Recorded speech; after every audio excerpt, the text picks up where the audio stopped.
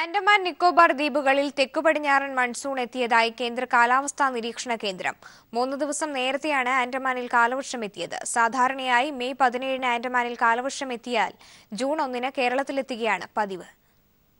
തെക്ക് പടിഞ്ഞാറൻ മൺസൂൺ ആൻഡമാൻ നിക്കോബാർ ദ്വീപുകളിൽ എത്തിയതായി കേന്ദ്ര കാലാവസ്ഥാ നിരീക്ഷണ കേന്ദ്രം. സാധാരണ മെയ് പതിനേഴ് മുതലാണ് തെക്ക് പടിഞ്ഞാറൻ മൺസൂൺ ആൻഡമാൻ ദ്വീപുകളിലെത്തുന്നത് പതിനേഴ് മുതൽ ആൻഡമാനിൽ വന്നതിന് ശേഷം ജൂൺ ഒന്നിന് കേരളത്തിലെത്തുകയായിരുന്നു പതിവ്. ബംഗാൾ ഉൾക്കടൽ നിക്കോബാർ ദ്വീപുകൾ ആൻഡമാൻ സമുദ്രം വടക്കൻ ആൻഡമാൻ സമുദ്രത്തിന്റെ ഭാഗങ്ങൾ എന്നിവിടങ്ങളിലാണ് കാലവർഷത്തിന് തുടക്കം കുറിച്ച് മഴയെത്തിയത്.